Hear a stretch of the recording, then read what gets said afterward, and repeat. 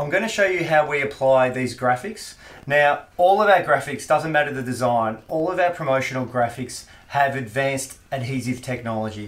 And all that means is that you can apply to a wall like this, or to glass, or to a plaster wall, or to a brick wall, and you'll get no bubbles, no creases. You don't need any tools, you don't need any experience. Give your wall or glass a wipe and get rid of any dust that's going to get trapped underneath your decal. The first thing I'm going to do is pull back the top half of this decal. It's going to make it super easy to apply. And the best way to do this is to apply it, fix it to the, to the top here, wherever you're applying it to, and just pull back. Makes it a lot easier. And just peel it back to about halfway. And then all we're going to do, this backing paper, we're just going to fold that over like that and then we'll lift up the top half of the decal. Now we're going to choose our position of where we're going to put it. So I'm going to place it here and just start in the middle with your hand, a little bit of pressure and just work side to side and you'll see straight away that all the bubbles just work completely out and you have a nice smooth top. And then from there, that's the hard bit done.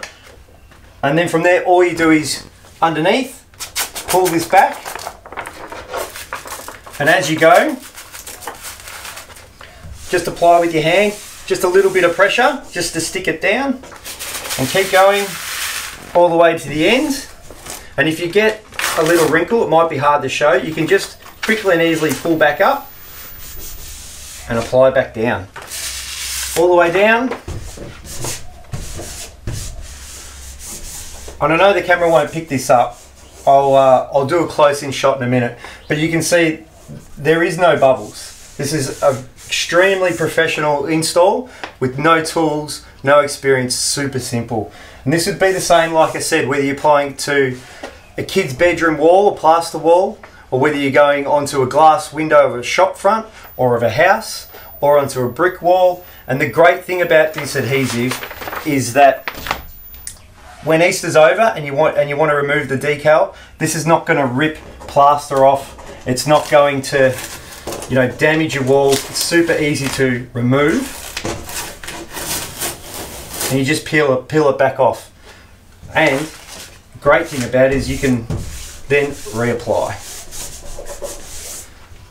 So you can pick this up and reapply a couple of times. Um, each time you do it, the, the adhesive on the back will reduce just a little bit. So you could probably pick it up and, re and reapply, you know, four to five times before uh, you'll start to see any of the uh, adhesive not stick as well as it, it did originally. Another amazing thing about this material is that you can just easily remove it. It doesn't leave any glue on your glass or pull plaster off your walls.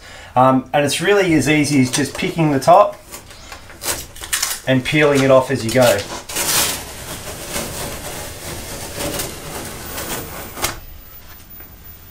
And you can see here that there's there's no glue. It hasn't ripped anything off. Uh, the wall's still in great condition